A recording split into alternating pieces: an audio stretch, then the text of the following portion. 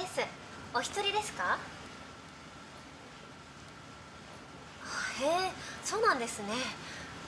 たまにいらっしゃってますよね。えうちの店水道水だけど。ああそうなんですか。珍しいですね。そんなクールな理由で来る人初めてですよ。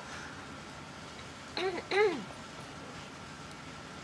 ああのお客さんお仕事は？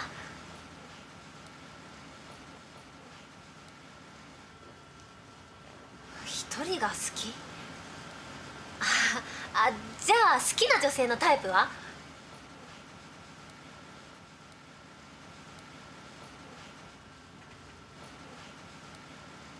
シンディ・ローパー？へえあお客さんゲームとかやります？私今ハマってるゲームがあってブレイブフロンティアって言っていろんな仲間を召喚して敵と戦う RPG なんですけど。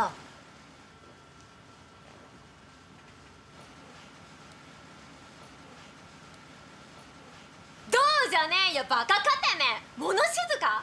てめえがクール気取って絡みにくいから戸惑ってるだけだろうが。てかおめえ IT なのにガラケーでクールなのにシンディ・ローバーが好きってキャラブレブレなんだよ。今のどのくだりでこの後いけると思ったんだよ？1ミリもねえからクールとかほざいてるけどただ単に友達がいねえだけだろ？五郎かてめえは！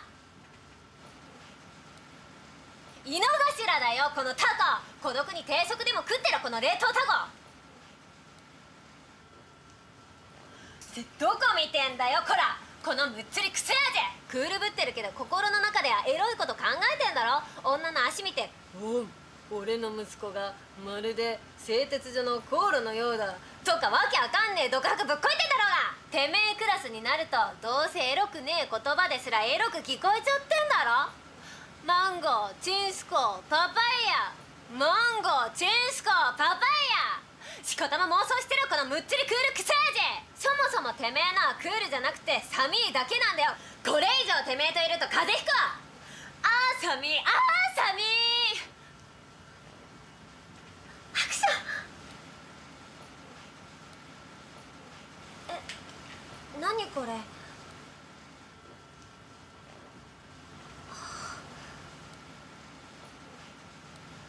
お前意外と温かいやつなんだな。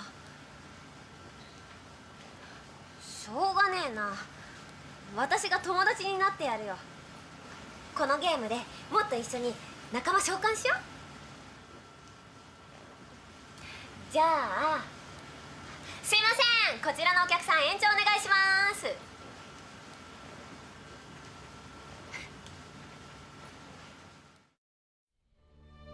以上キャバクラ嬢はクールキャラで口説けると思っている勘違い男子を怒る美女でした。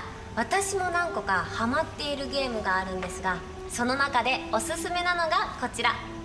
皆さん冒険を忘れていませんか？600体以上のキャラクターと壮大なシナリオスマホでプレイする本格的 RPG ゲーム「プレイブフロンティア」冒険の世界グランガイアを舞台にプレイヤーが召喚師になってキャラクターたちの能力を強化し強敵との戦いを経てこの世界に潜む真実に迫ります。